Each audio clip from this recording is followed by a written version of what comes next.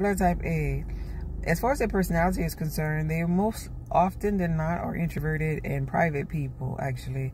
They are about organization and order. So they may be like um, perfectionists, you know, because, you know, everything in the physical reality has a purpose. And so they their purpose is to bring order to the matrix. And with that being said, they're the type of people that's kind of like have that standing hair appointment, kind of like they probably, you know, that standing appointment to get their nails done. They probably neat and tidy.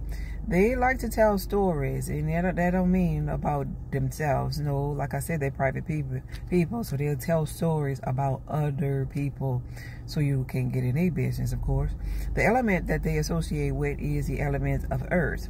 Hence, these are the people that have the um, green thumb. And if you think about it, their diet is most close to being a vegetarian out of any other, um, you know, blood type because they don't have any highly beneficial meats.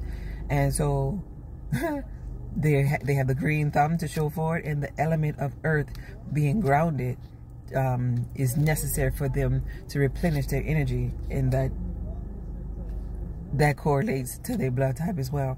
But they're beautiful, helpful, good-hearted people. You know, um, they often want to show you how orderly they are when they're around you, but don't get it twisted. When they're not around, they sometimes are not easy with themselves and not aren't that orderly within themselves. Okay? Be blessed.